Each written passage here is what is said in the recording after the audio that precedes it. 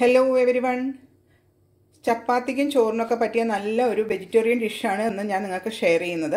അതായത് beans dal fry.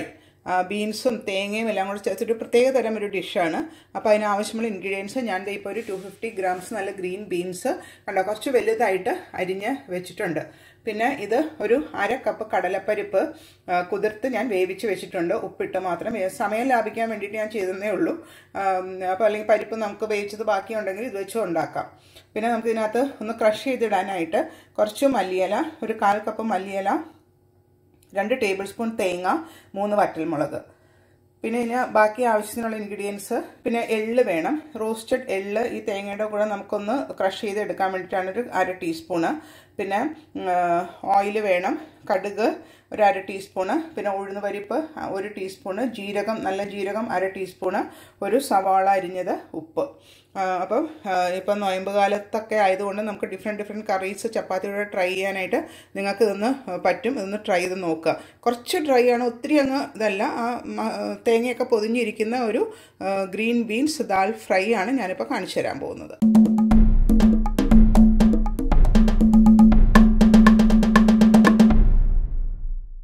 ഇപ്പം green beans dal ഫ്രൈക്ക് ഞാൻ ഇപ്പോൾ ബീൻസ് ഒരടുപ്പത്ത് ഉപ്പിട്ട് വേവിക്കാൻ വെച്ചിട്ടുണ്ട്. വേറൊരു പാനിൽ ഞാൻ വെളിച്ചെണ്ണ ഒഴിച്ച് വെളിച്ചെണ്ണയല്ല നോർമൽ ഓയിൽ ഒഴിച്ച് ചൂടാക്കാൻ വെച്ചിട്ടുണ്ട്. അങ്ങനെ രണ്ടടുപ്പത്തായിട്ട് നമുക്ക് ഈ പ്രോസസ്സ് ചെയ്യാം. ബീൻസ് വേവുകയും ചെയ്യാം. ആ സമയം കൊണ്ട് നമുക്ക് ബാക്കി ഇൻഗ്രീഡിയൻസ് ഇതിനകത്ത് ആഡ് ചെയ്ത് സോട്ട് ചെയ്ത് എടുക്കാം. അപ്പോൾ എണ്ണ ചൂടായിട്ടുണ്ടാവും. ഞാനിപ്പോൾ എണ്ണ ഒഴിച്ചിട്ടുണ്ട്. അതിനകത്തോട്ട് കടുക് ഇട്ട് കൊടുക്കാം. കടുക് പൊട്ടി വരുന്നുണ്ട്. അതിന്റെ കൂടെ തന്നെ നമുക്ക് ജീരകവും ഉഴുന്ന് പരിപ്പും കൂടെ ആഡ് ചെയ്ത് കൊടുക്കാം. അതൊന്ന് ഒന്ന് ലൈറ്റായിട്ട് ഒന്ന് മൂത്ത് വരുമ്പോഴത്തേക്ക് നമുക്ക് സവാളയും കൂടെ ആഡ് ചെയ്ത് കൊടുക്കണം. അല്ലെങ്കിൽ ആ ജീരകവും ഉഴുന്നുപരിപ്പും ഒക്കെ ഒന്ന് കരിഞ്ഞു പോകും. പിന്നെ സവാളയുടെ കൂടെ തന്നെ കിടന്ന് അത് കുറച്ചുകൂടെ ഒന്ന് മൂത്ത് വന്നോളൂ. ഇപ്പോൾ നമുക്ക് നല്ലൊരു സ്മെല്ല് വരുന്നുണ്ടോ? ഉഴുന്നുപരിപ്പൊന്ന് ഉണ്ടോ ഉഴുന്നുപരിപ്പ് ഓൾറെഡി ബ്രൗൺ ആയി കഴിഞ്ഞു. ഉഴുന്നുപരിപ്പ് ഒന്ന് മൂത്ത് വരുന്നതിന്റെ ഒരു സ്മെല്ല് വരുന്നുണ്ട്. നമ്മുടെ അപ്പുറത്തെ അടുപ്പത്ത് ബീൻസ് റെഡി ആയിക്കൊണ്ടിരിക്കുന്നു. ഇനി ഇതൊന്ന് വഴന്ന് വരട്ടെ ഒരുമാതിരി ഒന്ന് ലൈറ്റ് ബ്രൗൺ ആവുന്ന വരെ സവാള വഴറ്റി എടുക്കാം സവാളയും ഉഴുന്ന് പരിപ്പ് ഇതെല്ലാം കണ്ടോ? നല്ല ബ്രൗൺ ആയിട്ടുണ്ട്. സവാള ഒരു ചെറിയ ബ്രൗൺ ആയിട്ടുള്ളൂ അത് മതി. ഇനി ഇതിനകത്തോട്ട് നമ്മൾ ഞാൻ നേരത്തെ പറഞ്ഞ തേങ്ങയും മല്ലിയിലയും വറ്റൽമുളകും എല്ലാം കൂടെ വെള്ളും എല്ലാം കൂടെ ഒന്ന് അരച്ചെടുത്തുകൊണ്ട് വന്നിട്ടുണ്ട്. എനിക്ക് ഒത്തിരി അങ്ങ് പേസ്റ്റ് ആവണ്ട. പിന്നെ അതിന്റെ കൂടെ തന്നെ ഞാൻ മഞ്ഞൾപ്പൊടിയും കൂടെ അരിയെടുക്കുന്നുണ്ട് മഞ്ഞൾ എപ്പോഴും നമ്മുടെ ആരോഗ്യത്തിന് ഒത്തിരി നല്ലതാണ്. നമുക്ക് ബോഡിക്ക് നല്ല റെസിസ്റ്റീവ് പവർ തരുന്നതാണ് മഞ്ഞൾ. അപ്പം നമുക്ക് മഞ്ഞൾ അങ്ങനെ കഴിക്കാൻ പറ്റില്ല. അപ്പോൾ എല്ലാവരും എന്താ ചെയ്യേണ്ടതെന്ന് വെച്ചാൽ നമ്മൾ കറികളൊക്കെ ഉണ്ടാക്കുമ്പോൾ നന്നായിട്ട് മഞ്ഞൾപ്പൊടി ഉപയോഗിച്ചിട്ട് ഉണ്ടാക്കണം.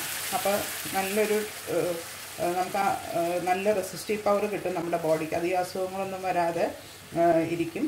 അപ്പോൾ എല്ലാ കറികളിലും നന്നായിട്ട് മഞ്ഞൾ യൂസ് ചെയ്യാൻ ശ്രമിക്കുക. ഇതൊന്ന് ഒന്നൊന്ന് രണ്ട് മിനിറ്റ് ഇതിനകത്തിട്ട് കുക്ക് ചെയ്താൽ മതി. അതായത് ആ തേങ്ങയുടെയൊക്കെ ഒന്ന് പച്ചച്ചവയൊന്ന് മാറിക്കിട്ടിയാൽ മാത്രം മതി. അത് കഴിയുമ്പോൾ നമുക്ക് അതിനകത്തോട്ട് ആ വേവിച്ച കടലപ്പരിപ്പ് ആഡ് ചെയ്തിട്ട് എടുക്കാം. അതൊന്ന് ഒന്ന് രണ്ട് മിനിറ്റ് ഒന്ന് ചൂടായി വരട്ടെ. ഇപ്പോൾ ഏകദേശം രണ്ട് മിനിറ്റ് ആയിട്ടുണ്ട്. ഞാനിപ്പോൾ അതിനകത്തോട്ട് ആ വേവിച്ച കടലപ്പരിപ്പ്. ഇതിപ്പോൾ ഒരു കാൽ കപ്പിനും കുറച്ചും കൂടെ കൂടുതൽ ഞാൻ കൊടുത്ത് വെച്ചതാണ്. അപ്പോൾ വെന്ത് വന്നപ്പോൾ ഇത്രയും ഉണ്ട്. അതും അതിനകത്തോട്ട് ആഡ് ചെയ്തു. ഇപ്പോൾ ഞാൻ ഉപ്പ് എന്താണെന്ന് വെച്ചാൽ ഇപ്പോൾ ആഡ് ചെയ്യുന്നില്ല. എന്താണെന്ന് വെച്ചാൽ കടലപ്പരിപ്പ് നമ്മൾ ഉപ്പിട്ടാണ് വേവിച്ചത്. ബീൻസ് ഉപ്പിട്ട് വേവിച്ചതാണ്. അപ്പോൾ അതുകൊണ്ട് ഞാനിപ്പം വേറെ ഉപ്പ് ആഡ് ചെയ്യുന്നില്ല. നമുക്ക് ബീൻസും കൂടെ ആഡ് ചെയ്ത് കഴിഞ്ഞിട്ട് ആവശ്യത്തിന് വേണമെങ്കിൽ ഉപ്പ് ആഡ് ചെയ്താൽ മതി.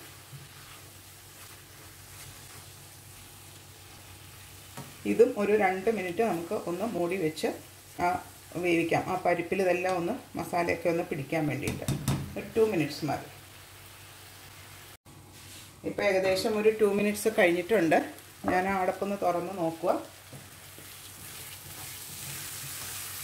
കട പരിപ്പ് ഇതെല്ലാം പിടിച്ചിട്ടുണ്ട്. പരിപ്പ് ഇങ്ങനെ കടിക്കാൻ കിട്ടണം. അതാണ് നല്ലത്. ഒത്തിരി അങ്ങ് വെന്ത് പോകരുത് പരിപ്പ്. ഇനി ഇതിനകത്തോട്ട് നമ്മൾ നേരത്തെ വേവിച്ച് വെച്ച ബീൻസ് കുറച്ച് ഗ്രേവി ഉണ്ട് കുഴപ്പമില്ല. ആ ബീൻസോട് കൂടി തന്നെ ആഡ് ചെയ്യാം. ഞാൻ രണ്ട് മൂന്ന് ബീൻസ് ഒന്ന് മാറ്റി വെക്കട്ടെ ഗാർണിഷിങ്ങിന് വേണ്ടിയിട്ട് മാത്രം. ഇപ്പോൾ നമ്മുടെ chana dal fry with beans ready ആയിട്ടുണ്ട് കണ്ടോ? ഇത് ചപ്പാത്തിക്കും ചോറിനും ഒക്കെ പറ്റിയ നല്ലൊരു ഡിഷാണ്. പറ്റുന്നവരൊന്ന് ട്രൈ ചെയ്ത് നോക്കുക നിങ്ങൾക്ക് എന്തായാലും ഇഷ്ടമാകും ഒരു വെറൈറ്റി ഡിഷാണ്. തേങ്ങയും എള്ളും എല്ലാം കൂടെ ചേർന്നിട്ടുണ്ട്. മല്ലിയില ഇതെല്ലാം കൂടെ അരച്ചൊരു പേസ്റ്റ് ആക്കിയിട്ടുണ്ട് അത് വെച്ചിട്ടുള്ളൊരു ഡിഷാണേ. ഇനിയിപ്പോൾ ഞാനിതൊന്ന് പ്ലേറ്റിലോട്ട് മാറ്റാം.